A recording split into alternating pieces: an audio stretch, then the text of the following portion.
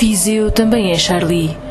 Várias dezenas de pessoas concentraram-se este fim de semana no Rocio de Viseu para mostrar a sua solidariedade para com as vítimas do atentado terrorista em Paris. Recordando os jornalistas e polícias assassinados na passada quarta-feira por terroristas na redação do jornal satírico Charlie Hebdo, a vigília realizada em Viseu serviu para que fossem proclamados os valores da democracia e da liberdade.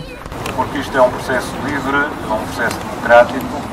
Nós estamos aqui exatamente por isso, para de alguma maneira reforçar aquilo que é a democracia, de, uh, reforçar aquilo que são os valores da democracia, reforçar aquilo que são os valores da cidadania e do Ocidente. É, sobretudo, um movimento de enorme união e que deve unir raças, credos religiosos, deve unir todos os humanistas todas as classes e todos os homens, homens com letra grande. 17 pessoas morreram na sequência dos atentados da semana passada em Paris.